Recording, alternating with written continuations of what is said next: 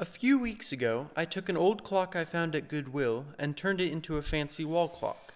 I used a technique known as book matching, and the final product was very pleasing. So I decided to keep going with that book matching technique and make a pen box with a book matched top.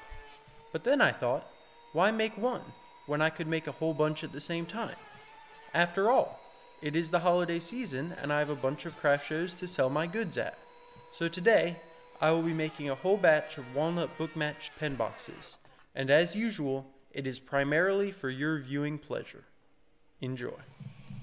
Now, the first thing I did was break down a rough cut piece of walnut into smaller pieces that were about 7 inches long by 4 inches wide. These will be used to make all of the book matched tops. I decided to make the bottoms using the same technique because the top that is a different color than the bottom might surprise people when they open it up and actually see the bottom for the first time. After the first run through the table saw, I have pieces that are about an inch wide, an inch thick, and 7 inches long. I actually need to cut them down lengthwise twice more, and the smaller the pieces get, the dodgier the cuts become, and the more vulnerable my fingers become. So as a bit of a safety measure, I made this little jig out of some scraps. It holds the pieces, now less than half an inch wide, snug against the table saw fence, so that I can run them all through the blade in moderate safety. I feel like in every video I explain that I should really be using a bandsaw instead of a table saw. But behold, I still do not have a functional bandsaw. Behold, this is a mildly commemorative day. For exactly one year ago, I uploaded my first video. It was fairly low quality, about the same quality as my videos today. And if you thought this was a silly speech ending in a massive thank you to everyone who has ever been on the internet, it's not. Your own! I glued up all the book matches over the course of several days. And it took me several days because these two bar clamps are the only parallel style clamps I have. So I had to glue them all up one at a time. That was a long and tedious process. But luckily, I am completely overwhelmed by the amount of projects I am working on at the same time, so I had plenty of other things to do while I waited for the glue to dry.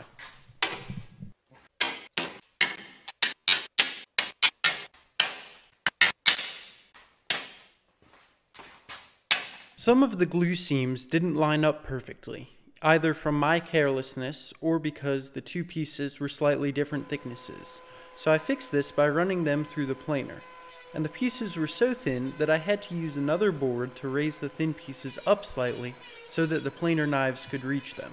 The first piece I used to achieve this ended up pranking me and firing the cannon right back at my hand.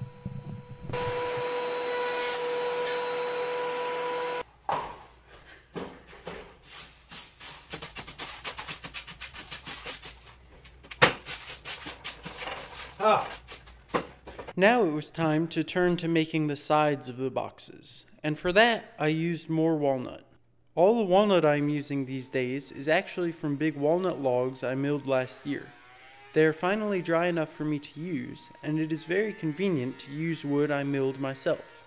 As usual, I broke the pieces down using the planer, the miter saw, which still has a blade as sharp as a tennis ball, and my table saw. Because I don't have a jointer, I use the table saw to get the board edges square. I do this by taking a very thin pass on one side and then flipping it over and using that side as a reference against the fence and running the other side through the blade. Doing this two or three times results in almost perfectly square edges. You might think that this video is becoming pretty repetitive, and you'd be right. Sean Covey said, We become what we repeatedly do. And I am repeatedly cutting things up with big power tools, which seems to imply that I too shall be cut up with big power tools. And since we are getting warmed up with the quotes, here's one from Edith Gergstrom. The eye loves repetition, but does not want to be bored. It likes familiarity, but needs surprises. So, in order to be surprising, the next 20 seconds or so will be played in reverse.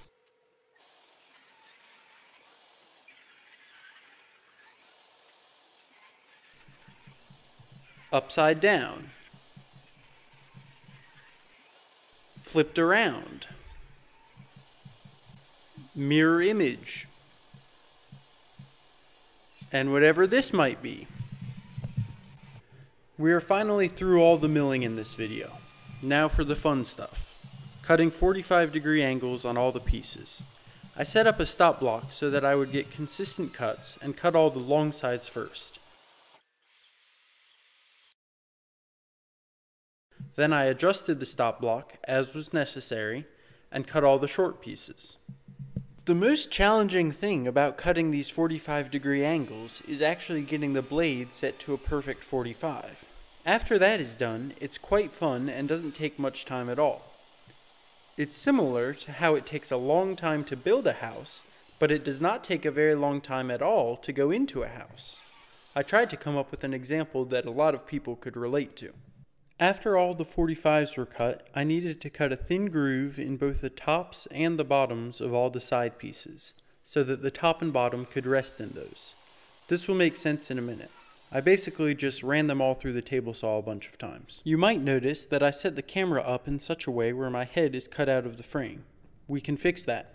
And now we see the purpose of the grooves. There is a groove at the top for the top, and at the bottom for the bottom.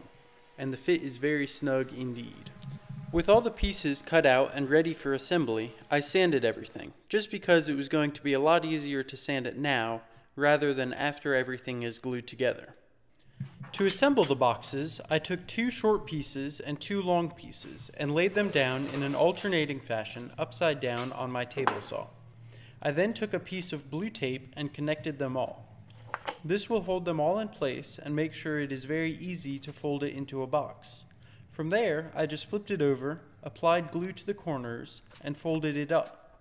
I took some time making sure everything was aligned well before securing it with one final piece of tape. I then repeated this process for all of the boxes. After the glue had dried, I took the time to assert total dominance and take off all the pieces of blue tape. I was pleasantly surprised that the joints between the corners were quite tight and overall generally suitable. The next thing I had to do was cut the boxes in two in order to reveal the tops.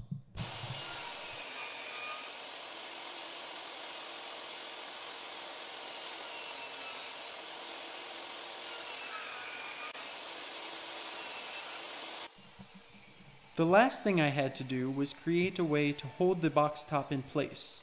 And to do this, I decided to line the box with a second smaller box made out of a slightly lighter colored wood.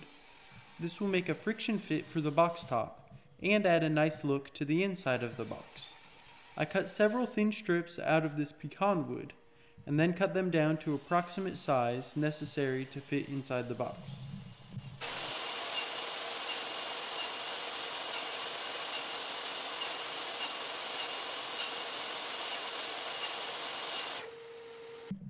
From there, I used my mini disc sander to sand a perfect 45 to fit inside the box.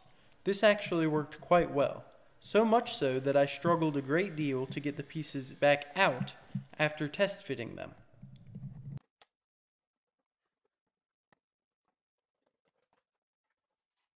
After getting them back out, I applied a bit of glue and pressed them into place. The fit was really snug, and I really like the two-tone action on the inside. When all the pieces were in place, I added some clamps. This wasn't at all necessary.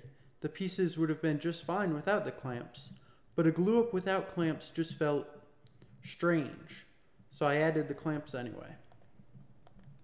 I apologize for not taking more time to film the finishing process in a more suitable manner, but I was on a time crunch before a weekend craft show and getting the boxes done in time for that took priority over perfect documentation. I applied three coats of semi-gloss polyurethane. I'm really happy with how these turned out, and as of recording this, I've already sold two of them to people at crafty events. Thanks for watching to the end. This one felt kind of chaotic and really long. Until next time, go chase a turkey. Goodbye.